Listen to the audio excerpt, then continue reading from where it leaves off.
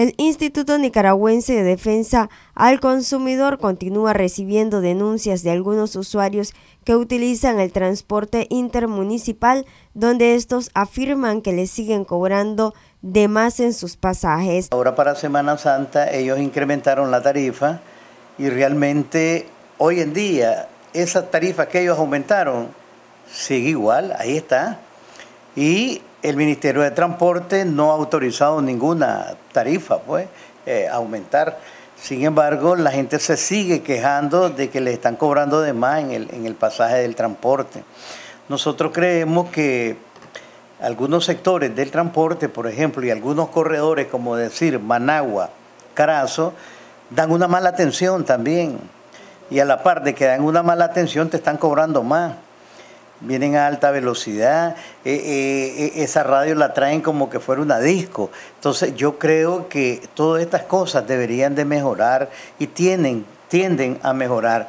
Pero ¿qué es lo que sucede? Pero para que esto ocurra, lógicamente tiene que estar ahí presente el ente regulador que tiene que velar por esta situación.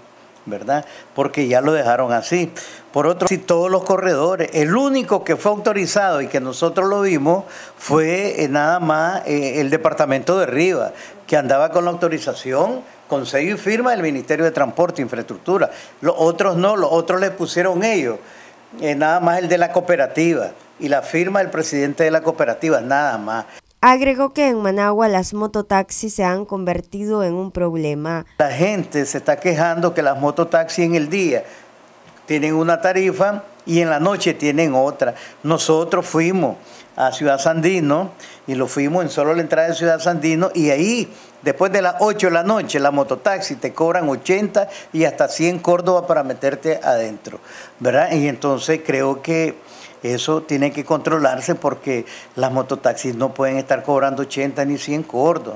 Y la gente, por la misma necesidad que ya no hay bus, tienen que pagarlo. Porque también a esa hora muy pocos taxis hay. Y entonces nosotros creemos que acá estos señores de las mototaxis no se pueden estar este, aprovechando de esta situación. Noticias 12 Darlene Telles.